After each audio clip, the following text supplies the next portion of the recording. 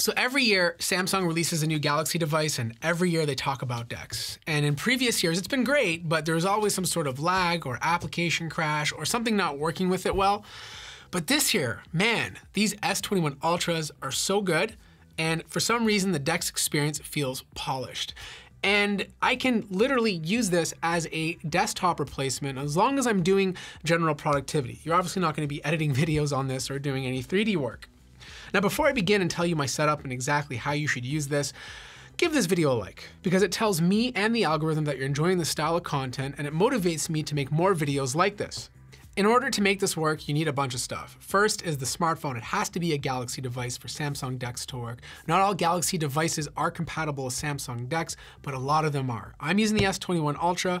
If you're curious to know if yours will work with DeX, I'll place a compatibility list in the description down below. Next, you need a cable. You need a cable to connect the smartphone to the display. iVanky was kind enough to sponsor this video and provide their cables, and man, they got some really nice quality cables. Like look at this thing. It doesn't cost a lot of money, but it's so well made. This is a thick braided cable. It feels very premium. It's less likely to break or tangle because of its thickness. They even plated the HDMI connector in gold, or at least a gold color, and the enclosure is super thick so that if you drop something on it, it's less likely to break. Now, when you connect this from the back of your phone to the display, you'll get a 1080p connection. That's just what the Galaxy device supports, but this cable can go up to 4K 60 hertz. So even if you don't use it with your smartphone the entire time, you can connect it to your laptop, connect it to a second monitor, and get a 4K image, assuming the monitor supports 4K. Now, if you want to charge the phone at the same time, this method is not going to work. You need to take a look at one of iVanky's USB Type-C hubs. You connect the USB Type-C port to the bottom of the Galaxy device, and then you connect an HDMI cable from the back of your monitor to the hub, and then you connect your Samsung charger to the USB Type-C power delivery port on the hub, and you'll get an image on the display and will also charge your smartphone at the same time.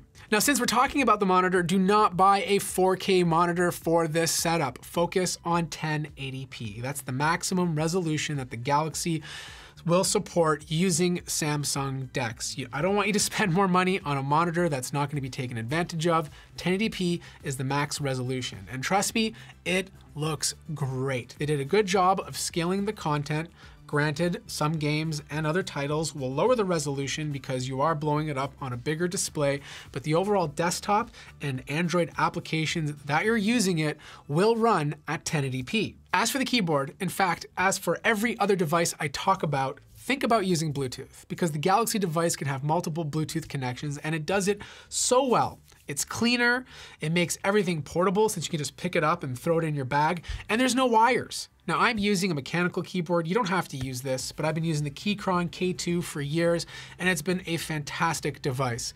The mouse, I don't like the mouse I'm using, but it's the only Bluetooth mouse I have in the studio right now, and it's the MX vertical mouse, and it's for right-handed people, but I'm left-handed.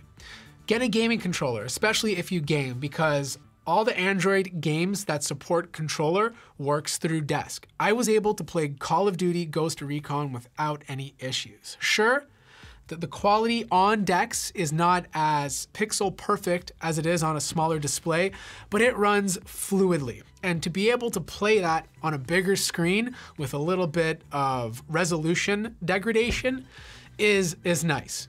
Now, if you're thinking about using this with Xbox Game Pass, you can do it, but every once in a while I saw the screen refresh, which was kind of annoying.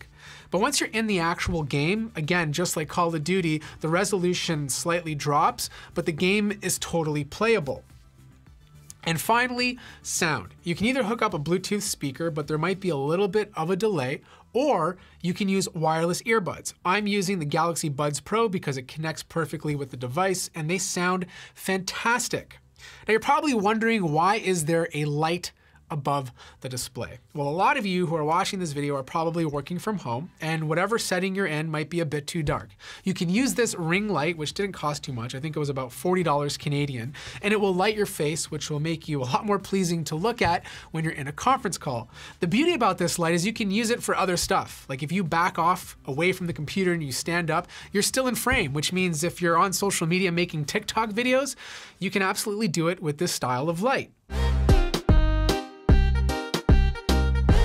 And the last piece of equipment is the Elgato Multipoint. This holds the light and the phone and it clamps to the back of your desk and it just makes the entire setup look clean. You don't have to buy this. If you have a tiny tripod lying around, you can place it behind the monitor too.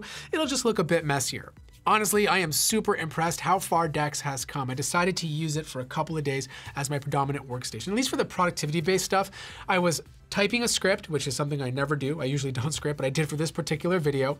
And I had another document opened beside it. I was able to snap them to the size of the screen so they were equal, something you usually do in Windows 10, not on a smartphone. Then I opened up a browser. I started looking up information, copying it into the document so I could reference it. It just felt like a proper desktop computer. Then I had a couple of Zoom calls, meetings from PR companies. I was able to do it all from my phone.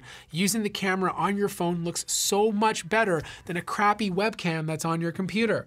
I hope this video provided some value to you if you're interested in picking up any of the things I talked about or these awesome iVanky cables. I'll place links in the description down below.